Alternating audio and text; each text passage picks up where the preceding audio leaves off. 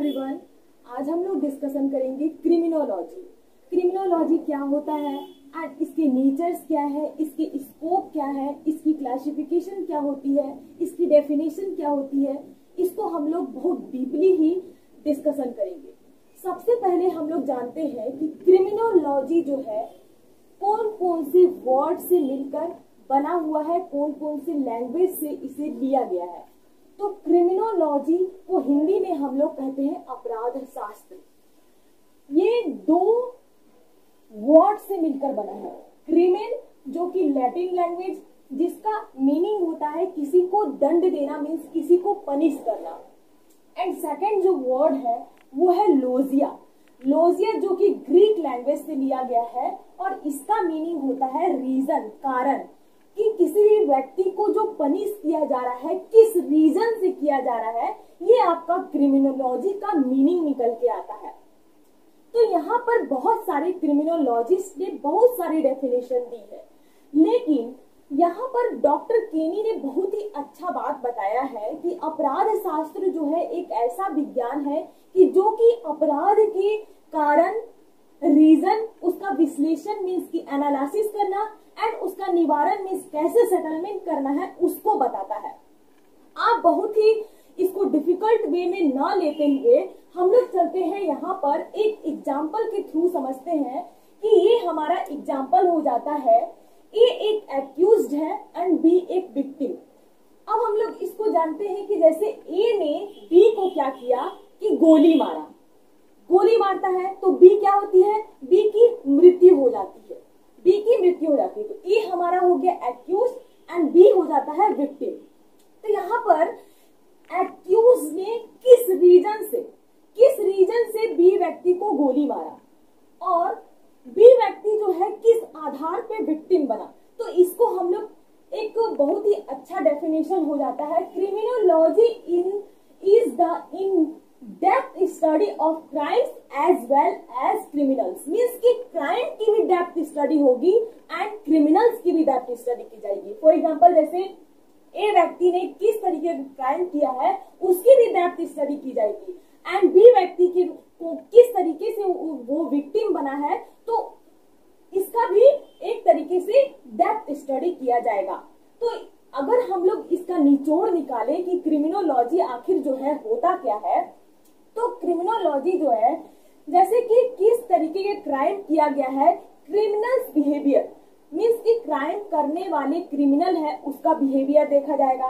वो किस सरकमटांसेस में वो क्राइम करता है, उसको देखा जाएगा। एंड उसकी इन्फ्लुएंसेस क्या होती है, उसको देखा जाएगा। And cause of crime means की क्राइम का क्या कारण है। क्या कारण की वजह से वो जो है क्राइम किया गया क्या मेंटल है, या फिर बायोलॉजिकल है, या फिर हम कह सकते हैं कि क्या सोशल कारण तो नहीं है, इसकी वजह से कार्य जो क्राइम है, जो किया गया।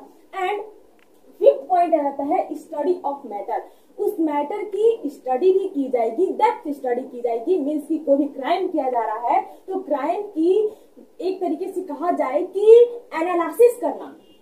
एनालिसिस करना, ये हमारा हो जाता है क्रिमिनोलॉजी अगर हम नेचर्स की बात करें तो नेचर्स बहुत ही आसान वे में हम लोग समझते हैं कि नेचर से ही हो जाता है कि कोई भी क्राइम है, उसको किस तरीके से किया गया है, उसके कारण क्या है, क्यों किया गया है, आखिर वो व्यक्ति जो है विक्टिम क्यों बिना विक्टिम बनने का कारण क्या है? मतलब मीन्स की एक क्राइम को होने की होने की जो भी रीजन है, जो भी एक्यूज के द्वारा जो किया जा रहा है एक्यूज का है, या फिर क्राइम का है, या फिर विक्टिम का है, एक तरीके से कहा जाए कि डेप्थ एक नॉलेज करना है। अब यहाँ पर अगर हम लोग उसकी स्कोप के बारे में देखें तो स्कोप यही है कि जो हमारे जो क्रिमिनोलॉजिस्ट हैं, उनका कहना है कि हम लोग जो है एक्यूज है क्राइम है एंड uh, आपका विक्टिम हो जाता है उसके ऊपर डेप्थ स्टडी करके किस तरीके से क्राइम को है रोका जाए ये भी एक तरीके का uh, कहा जाए कि बात हो जाती है। इसीलिए क्रिमिनोलॉजिस्ट ने uh, उसके बहुत अच्छे तरीके से डेप्थ स्टडी करके क्राइम को किस तरीके से रोका जाए ये आपका uh, काम करने का कार्य करता है क्रिमिनोलॉजिस्ट के द्वारा। यही आपका क्रिमिनोलॉजी हो जाता है। अगर हम क्लासिफिकेशन ऑफ़ क्रिमिनोलॉजी के बारे में बात करें तो क्लासिफिकेशन ऑफ़ क्रिमिनोलॉजी जो है, जो डॉक्टर डब्ल्यू ए वोंगर के द्वारा सिक्स तरीके के क्लासिफिकेशन दिए गए हैं। इसको हम लोग को समझना बहुत ज़रूरी है, क्योंकि अगर हम लॉन्ग टर्म के क्वेश्चन जो है, अक्सर जो है एग्ज़ाम में पूछे जाते हैं तो हम लोग को नेचर स्कोप डेफिनेशन से लेके क्लासिफिकेशन तक से लिखना पड़ता है, तब जाके हम लोग को 15 या 20 मार्क्स मिलते हैं। तो यहाँ पर अगर हम लोग अगर हम लोग क्लासिफिकेशन की बात करें तो फ़र्स्ट जो क्लासिफिकेशन है क्रिमिनल साइकोलॉजी मीन्स हो जाता है इसकी हिंदी मीनिंग निकाला जाए तो आपराधिक जो है मनोविज्ञान। तो यहाँ पर कि ये जो है क्रिमिनल जो साइकोलॉजी है इमोशन की वजह से कभी कभी क्या होता है कि कोई क्राइम हो जाता है। फॉर एग्ज़ाम्पल एक गर्लफ्रेंड जो है, एक बॉयफ्रेंड के द्वारा कहा जाता है कि भाई तुम तुम मेरे से शादी करना। लेकिन गर्लफ्रेंड क्या करती है कि वो जो है किसी और व्यक्ति से शादी कर लेती है, जिसकी वजह से वो व्यक्ति जो बॉयफ्रेंड रहता है, उसके ऊपर तेजाब फेंक देता है। तेजाब फेंकने की वजह से एक क्राइम कमिट हो जाता है। तो ये क्या हुआ? इमोशन की वजह से एक क्राइम कमिट हुआ तो ये आपका क्रिमिनल साइकोलॉजी हो गया। एंड सेकेंड हो जाता है क्रिमिनल एंथ्रोपोलॉजी ये आपका जो है physical appearance physical appearance means कि जैसे कोई व्यक्ति जो है जन्म लेता है तो वो जो है किसी का नाक टेढ़ा होता है या फिर बहरा होता है, गूँगा होता है तो वो उसे समाज से बहिष्कृत कर दिया जाता है। ये भी एक रीजन होता है क्राइम होने का। ये भी एक रीजन होता है मीन्स कि आपको जो है भरी सभा में कोई भी बोल देता है कि आप विकलांग हो, अपंग हो, आपको जो है यहाँ पे रहना नहीं चाहिए था, समाज से आपको बहिष्कृत कर दिया जाता है तो ये भी एक हे दृष्टि से सभी व्यक्ति उसे देखते हैं तो ये भी एक क्राइम होने का एक रीजन होता है। एंड थर्ड पॉइंट रहता है क्रिमिनल सोशियोलॉजी क्रिमिनल सोशियोलॉजी में जाती है कि कभी कभी सोसाइटी भी डिपेंड करती है सोशल सोशल भी डिपेंड हो डिपेंड हो जाता है क्राइम करने के लिए। फॉर एग्ज़ाम्पल जैसे कि हम हमारे घर के सामने कोई भी व्यक्ति जो है, बहुत ही अमीर व्यक्ति है, उसके पास उसकी घर की जो महिलाएँ हैं, बहुत सारी ज्वेलरी से लदी हुई होती है, या फिर हम कह सकते हैं उनके पास गाड़ी है, बंगला है, सारे चीज़ है। तो हम जो गरीब व्यक्ति होते हैं, जो छोटे छोटे व्यक्ति होते हैं, सोचते हैं कि ये व्यक्ति के पास इतनी इतनी सारी इनकम है, क्यों नहीं इसके घर में डाका डाला जाए, क्यों नहीं इसके घर में चोरी किया जाए तो हमारे पास भी कुछ ज्वेलरी आ जाएगी तो मैं भी एक अमीर व्यक्ति बन जाऊँगी। तो बन जाऊँगा या बन जाऊँगी, हम कह सकते हैं। तो यहाँ पर ये भी सोसाइटी भी डिपेंड करता है कोई भी क्राइम होने के लिए। यहाँ पर एक पॉइंट आ जाता है फोर्थ पॉइंट आ जाता है पीरियोलॉजी मीन्स की कोई क्राइम होता है तो उसको कैसे पनिश किया जाता है, ये भी एक पॉइंट हो जाता है। मीन्स की जैसे फॉर एग्ज़ाम्पल रेप होता है, या फिर हम कह सकते हैं कि मर्डर होता है तो किस तरीके से उसे पनिश किया जाता है, ये भी एक क्लासिफिकेशन हो जाता है क्रिमिनोलॉजी का।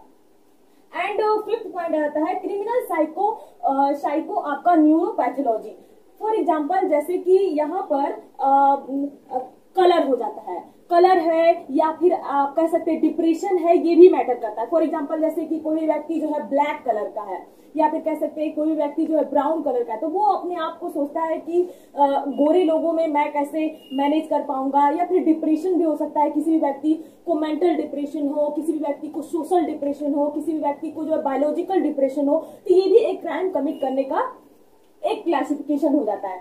एंड फिफ्थ पॉइंट की बात आता है सिक्स पॉइंट सिक्स पॉइंट आता है विक्टिमोलॉजी यहाँ पर बहुत ही ध्यान देने की बात है। आप अगर आ, मेरी बातों को ध्यान समझेंगे तो आपको बहुत ही अच्छे से आसानी से आपको समझ में आ जाएगा। विक्टिमोलॉजी जो है पहले जो है क्लासिफिकेशन ऑफ़ क्रिमिनोलॉजी में नहीं था। इसे बाद में ऐड किया जाए किया गया है।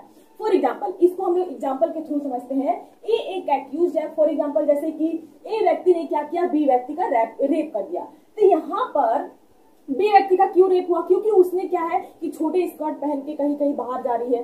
तो ए व्यक्ति क्या करता है कि उसके ऊपर अट्रैक्ट हो जाता है। अट्रैक्शन अट्रैक्शन हो जाता है। तो यहाँ पर कभी कभी क्या होता है? विक्टिम लोग भी आ, क्या करते हैं? अट्रैक्शन करके या फिर हम कह सकते हैं कि आ, किसी भी व्यक्ति को अपने ऊपर आकर्षित करने का काम करते हैं। तो ये भी एक आ, एक क्राइम करने का एक क्लासिफिकेशन हो जाता है। फॉर एग्ज़ाम्पल इसको हम लोग एग्ज़ाम्पल के थ्रू समझते हैं।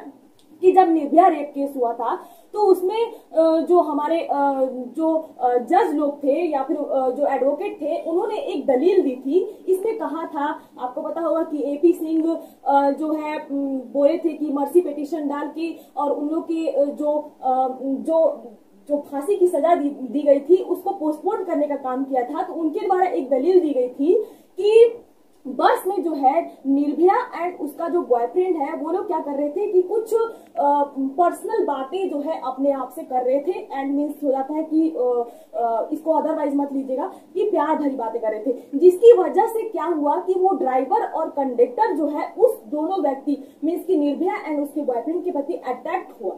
अट्रैक्ट हुआ। अगर वो लोग अगर वो लोग अच्छे तरीके से बस में बैठ के जाते तो हो सकता है अट्रैक्शन का केंद्र नहीं बनते। लेकिन उन्होंने अट्रैक्ट करने की कोशिश की।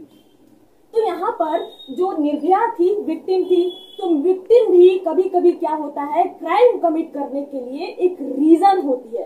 तो यहाँ पर क्लासिफिकेशन ऑफ़ क्रिमिनोलॉजी के लिए विक्टिम को भी इसमें ऐड किया गया है।